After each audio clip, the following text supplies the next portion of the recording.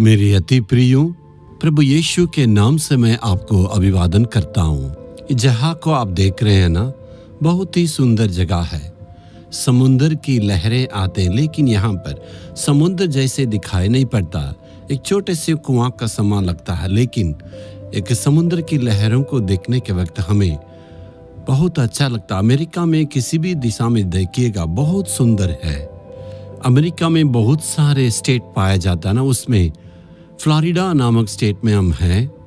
विश्व का महाप्रसिद्ध मायामी समुद्र यहीं पर पाया जाता है। ये मायामी जगह नहीं है, वैसे एक समुद्र है।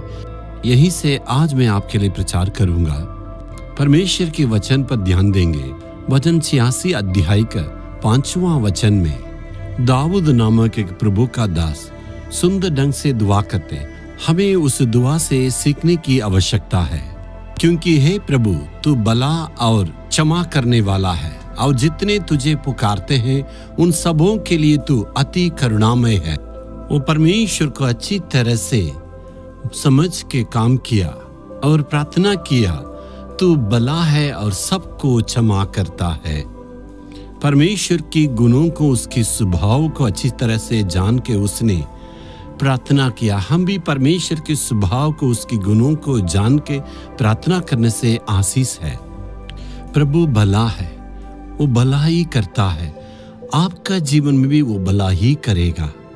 आपने कुछ भलाई के लिए प्रार्थना किया ना, जैसे ही प्रभु उसको सुन के आपका जीवन में भलाई करेगा। कभी कभी हमारे जीवन में कुछ परिस्थितियाँ ऐसे आते हैं, उस परिस्थिति के चलते कभी कभी हम गुस्सा करते हैं। गुस्सा करके पाप करते हैं, लेकिन कहते हैं हम परमेश्वर का संतान है। हम जिस दुनिया में रहते हैं, इस दुनिया में तो पाप भरा हुआ है, इसलिए इस दुनिया से अलग से हम कभी भी रह नहीं सकते हैं। ज़रूर पाप तो हम पर हमला करेगा, लेकिन उस पाप का प्रभाव हमारे जीवन में कभी भी अंदर आने के लिए जगह नहीं देना है। कभी कभी गुस्सा करते हैं कभी कभी हमारे कमज़ोरी में पाप करते हैं, लेकिन उसके बावजूद प्रभु तुरंत हमें अलग नहीं करेगा। परमेश्वर हमारे सारे अपराधों को क्षमा करता है। प्रतिदिन क्षमा करने के चलते हम आनंदित है। प्रभु के पास आके हमें क्षमा मांगना। हे प्रभु, मैंने गलती कर दिया, तू क्षमा करना है। प्रभु क्षमा करेगा। एक दिन के लिए कितने बार वो क्षमा करेगा, अनगिनित वो क्षमा करता। लेकिन हमें बार बार अपराध करके क्षमा को नहीं मांगना है।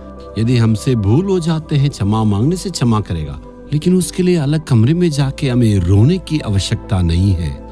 आप काम करने के जगह में, आप पढ़ने के जगह में, आप जहाँ पर रहते हैं, उस जगह में आपके विचार के चलते, आपके आँखों की दृष्टि में आपके काम के चलते आपने कुछ पाप किया है तो परमेश्वर के पास आके प्रभु जी हमारे से गलती हुई है, मैं आपसे क्षमा माँगता हूँ करके प्रभु क्षमा मांगिए, वो क्षमा करता है। जो कोई यीशु के पास आके दुआ करते हैं, परमेश्वर उनको हमेशा क्षमा करते हैं, इसलिए हम आनंदित हो सकते हैं। इसलिए प्रतिदिन परमेश्वर के साथ चलने की अनुभव में हमें आना है। हे परमेश्वर, हमें क्षमा कीजिए मांगेगा जब आप गलती करते हैं उसी वक्त प्रभु के पास आके यदि आप क्षमा मांगने से परमेश्वर पूरे दिल से आपको वो क्षमा करेगा। आज भी परमेश्वर से आप क्षमा मांगे। पाप से दूर रहने के लिए दुआ कीजिए, प्रभु आपको सुरक्षित रखेगा। हे यीशु, हमेशा तू क्षमा करता है। आज भी मेरे अपराधों को तू क्षमा करके और हम पर तू दया करना है परमेश्वर। यीशु के नाम में, आमीन आमीन।